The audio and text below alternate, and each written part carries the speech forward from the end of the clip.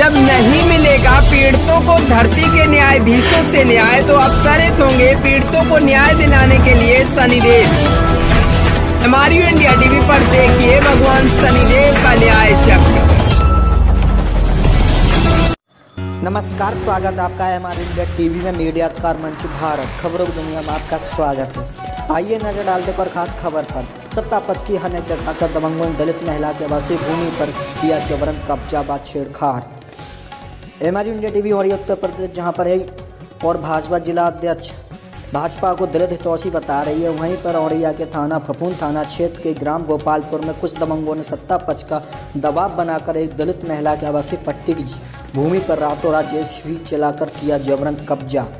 इतना ही नहीं, दलित महिला के आवासीय भूमि पर जबरन कब्जा करने पर महिला ने रोका तो दबंगों ने महिला के बाल पकड़कर ज़मीन पर गिराकर छेड़छाड़ करते हुए बेरहमी से पीटा। दलित महिला की शिकायत पर पुलिस ने नहीं की कोई कार्रवाई। आला के लगा रही चक्कर, दलित महिला ने क्षेत्रीय पुलिस भी धमकाने की बात कही, जबकि पुलिस को पीड़िता महिला का प्रथम दृष्टिकोण टिकल कर एफआईआर दर्ज कर देनी चाहिए थी। मामले को आईजी कानपुर जोन सहित अन्य अधिकारियों के संज्ञान में आ चुका है। अब देखना यह है कि नारी सशक्तिकरण अभियान चलाकर नारियों को सम्मान करने की कर करने की वाह वही लूटने वाली पुलिस। आखिर इस गरीब व दलित महिला को कब और क्या न्याय दिलाने की कार्रवाई करती है? बने रहे हमारे इंडिया टीवी के साथ। मैम आपका नाम क्या है और कहाँ के निवासी हैं? हम प्रीति यादव गोपालपुर के ग्राम गोपालपुर के निवासी थाना फपून जिला औरैया। क्या समस्या है? सब समस्या जो है, कल शाम को दिन में इनने गाली दी थी, फिर हम थाने गए। थाने में हमारी कोई सुनवाई नहीं करी। ऐसे साहब ने कही, चल घर पे, अभी खाना खा के हम आ रहे हैं। भेज रहे दरोगा जी को। तो उनने कह दिया, वो आए दरोगा जी, हम ही लोगों को उल्टा सीधा कह के घर में बुलेर के चले गए। हम लोग अपने चुपचाप घर में बैठ गए, लाचार हो गए। रात में करीब साढ़े ग्यारह, बारह बजे के बीच में बबलू चौबे और अनुज टीटू बंटू ये सब एक गढ़ हो के इकट्ठे हो के हम लोगन के मार पीट करी। मेरे आए के खूब में मेरे मकान में मेरी छोटी सी बिटिया हमें सब पटक पटक के मारो। मेरे बहुत चोटें आई मेरे अभी सीजर हुआ है। मेरे दो ढाई किलो तूमड़ निकाला गया कानपुर में। हमें अभी एक डेढ़ महीना मैम इस संबंध में जब आपने पुलिस प्रशासन से मदद मांगी तो पुलिस प्रशासन का क्या कहना है? भगा दिया मैं थाने से भी भगा दिया सीओ साहब ने भी कह दिया जाइए तू की यादव है तेरी नहीं सुनवाई होगी।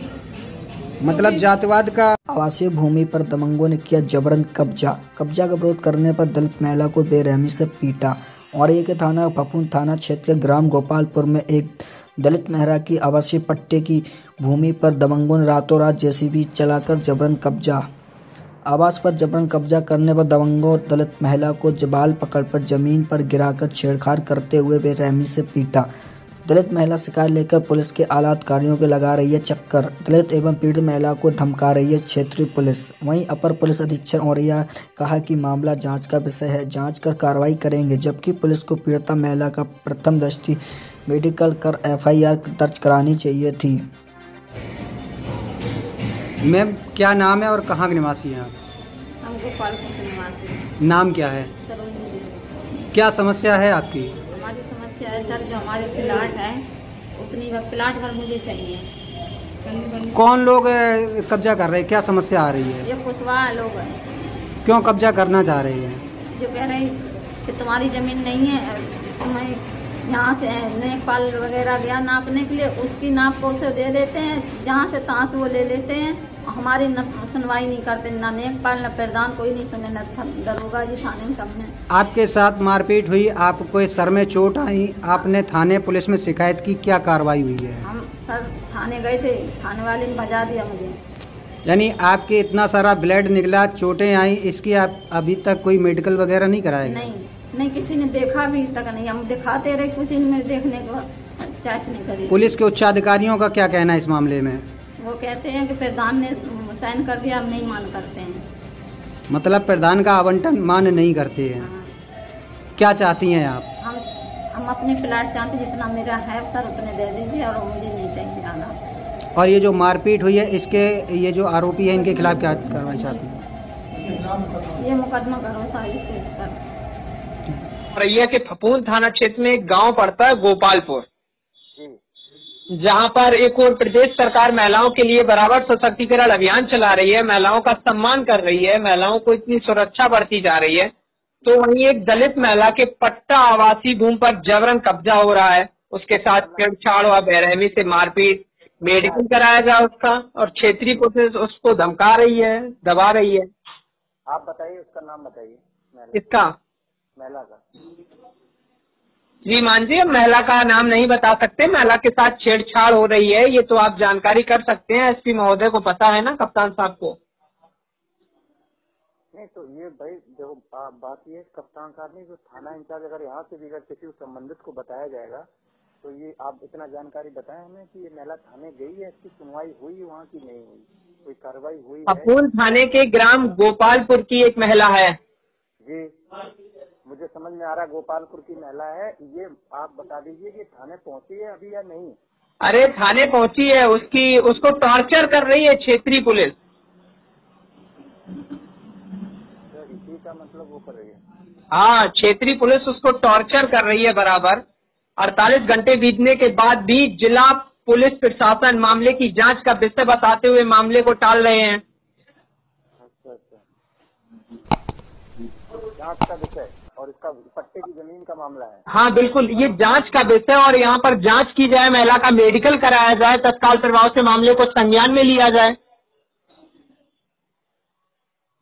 हाँ मारपीट कि किस मारपीट का पुलिस है क्या? जी हाँ और वही तो हम बता रहे हैं क्षेत्रीय पुलिस आनाकानी कर रही है इसमें और क्षेत्रीय पुलिस प्रशासन टॉर्चर कर रहा है। नहीं तो मेरी बात का सुनिए टॉर्चर कर रहा है लेकिन जैसे पट्टे की ज़मीन है तो पट्टे की ज़मीन पुलिस तो कब्जा कर नहीं रही होगी। कोई और कर रहा होगा या दिलवा नहीं रही होगी पुलिस इसका पुलिस के पास ये पहुँची कैसे? क्या मामला मेरी बात सुनो महिला के पास पट्टा है ठीक है?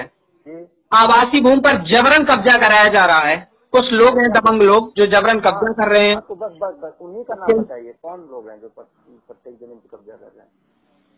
उन दबंगों का नाम तो नहीं पता है मेरे संज्ञान में नहीं है लेकिन हाँ कप्तान कप्तान साहब मौरैया को पता है। उन्होंने कहा है ये जाँच का विषय है मैं जाँच कराऊँगा और मैं आपको व्हाट्सएप पर डिटेल भेज रहा हूँ। कहाँ मतलब गोपालपुर के ही लोग हैं जो कब- पट्टे पे कब्जा कर रहे जी हाँ हाँ हाँ हाँ। चलिए और आप अपना व्हाट्सएप दे दीजिए मैं व्हाट्सएप पर सारी डिटेल सेंड करता हूँ। व्हाट्सएप क्या है? भाई साहब ये पीएनटी नंबर ही है सर। और व्हाट्सएप नंबर यहाँ कोई नहीं रेंज का नंबर है। तो डाल सकते हैं। ठीक है प्रकरण को दिख, दिखवा लीजिएगा। जी जी जी जी जी। हाँ।